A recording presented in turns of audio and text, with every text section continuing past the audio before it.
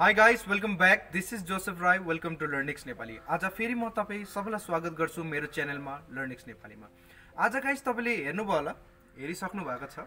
Thumbnail पनि हेर्नुभयो अनि यो घडी हेरेर तपाईँले चाल पाउनुभयो कि आजको जुन चाहिँ टपिक छ त्यो चाहिँ हो टाइम रिलेटेड सेन्टेन्सेसहरू अनि हामीले टाइम जब हेर्छौँ यसलाई इङ्ग्लिसमा कसरी भन्ने र कुन चाहिँ प्रकारले भन्ने आज हामी यस भिडियोमा सिक्नेछौँ। हुन त सबैलाई थाहा छ टाइम हामी हेर्छौँ र नौ बजेर पन्ध्र मिनट छ भने नाइन फिफ्टिन भन्छौँ नौ बजेर बिस मिनट छ भने नाइन ट्वेन्टी भन्छौँ। तर गाइस यसलाई चाहिँ हामीले अलग तरिकाले भन्नेछौँ आज।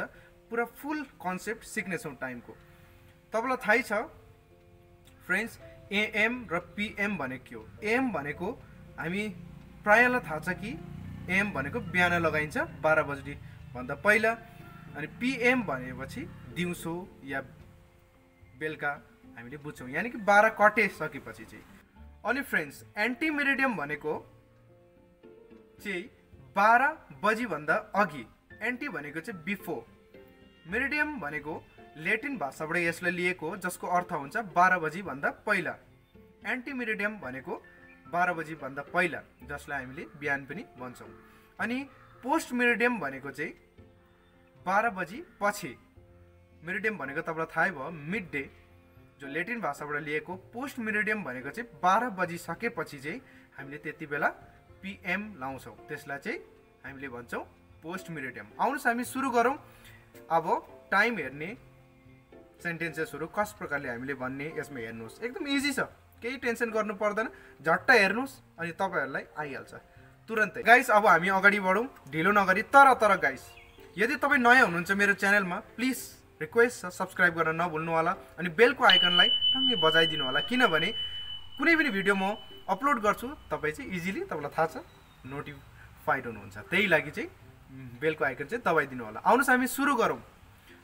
आजको लेसन टाइम कसरी हेरिन्छ?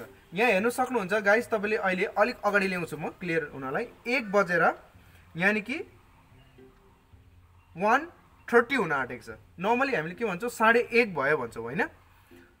तर यसलाई इङ्ग्लिसमा कसरी भन्छौँ भने वान थर्टी भनिन्छ सबैलाई थाहै छ।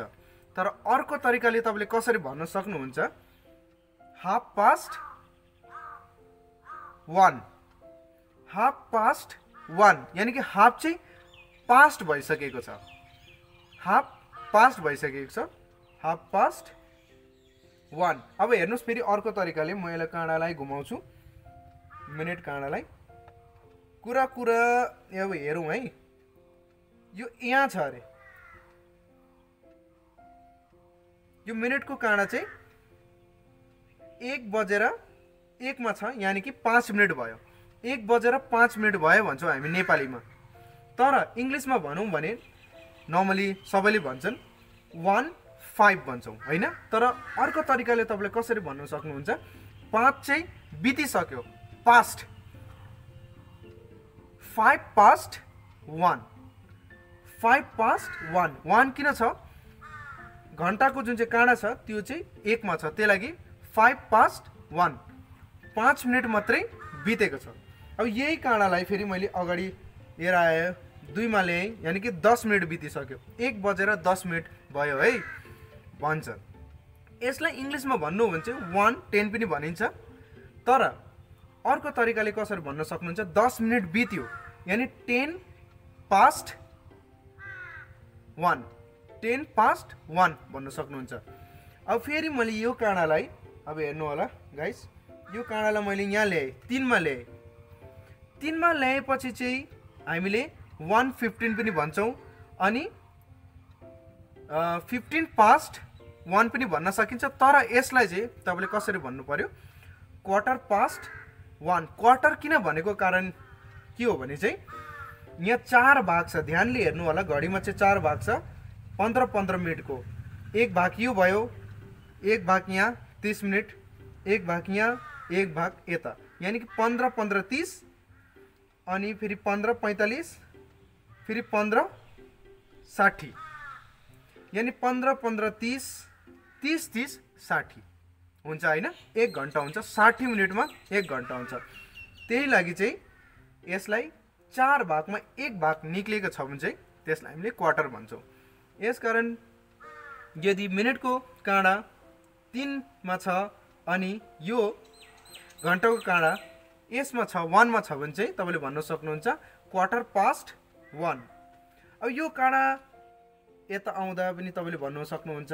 हेर्नुहोस् फेरि अगाडि बढाउँछु। अब बिस मिनटमा लान्छु। चारमा आयो यानि कि वान ट्वेन्टी यानि ट्वेन्टी पास्ट वान बुझ्नुभयो होला? कति पास्ट भयो? ट्वेन्टी पास्ट कतिको भयो? वान एकको चाहिँ बिस मिनट पार भइसक्यो है भन्दा एक बजेर बिस मिनट भइसक्यो भन्दा चाहिँ ट्वेन्टी पास्ट वान भनिन्छ। फेरि त्यस्तै पच्चिसमा पनि त्यही हो। अनि तिस मिनटमा चाहिँ मैले तपाईँलाई भने half past one half past one हुन्छ ठिक छ? अब फेरि मैले अगाडि ल्याएँ अब यसलाई बढाएँ। बढाउँदै गएँ बढाउँदै गएँ बढाउँदै गएँ यहाँ। पैँतिस भयो ठिक छ? पैँतिस भयो वान थर्टी फाइभ देख्नुभयो तपाईँले? वान थर्टी फाइभ पनि भनिन्छ नर्मली कति बज्यो? वाट टाइम इज इट भन्दा चाहिँ इट्स वान थर्टी फाइभ ठिक छ? तर तपाईँले भन्न सक्नुहुन्न थर्टी फाइभ पास्ट वान भन्न सक्नुहुन्न। अब के हुन्छ? अब दुई बज्नलाई कति मिनट छ अब? पच्चिस मिनट छ। त तपाईँले पच्चिस लाउनुपर्छ। यसरी भन्नुहुन्न कि अँ यो चाहिँ पैँतिस बितिसक्यो पैँतिस मिनट बितिसक्यो। नेपालीमा भन्न सक्नुहुन्छ तर इङ्ग्लिसमा अर्कै तरिकाले भनिन्छ। या त तपाईँले वान थर्टी फाइभ भन्नुहोस् या त अर्को तरिका छ।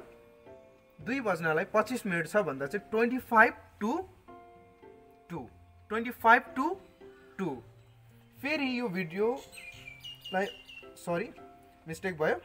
मिस्टेक गरिहाल्छु कि म? यो चाहिँ अब मैले नौमा ल्याएँ। यानि कति मिनट छ? पाँच दस पन्ध्र बिस। होइन? कति मिनट छ? पन्ध्र बिस छ? होइन पन्ध्र मिनट। यो पन्ध्र मिनट छ। अब दुई बज्नलाई पन्ध्र मिनट छ भन्दा चाहिँ हामीले यदि वान वान फोर्टी फाइभ पनि भन्न सक्छौँ। ठिक छ?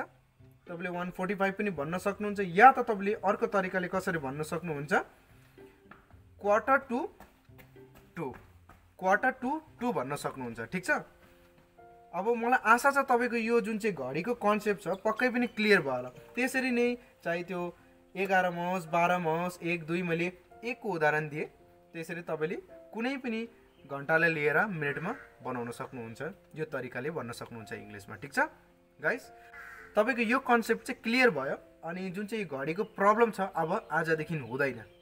यदि तपाईँलाई अलिकति पनि लाग्छ कि यो भिडियो हेल्पफुल छ तपाईँको लागि भने प्लिज लाइक गर्न नभुल्नु होला आफ्नो साथीहरूसँग सेयर गर्न नभुल्नु होला अनि फेरि म नेक्स्ट भिडियो लिएर आउनेछु। Till then stay home stay safe धन्यवाद।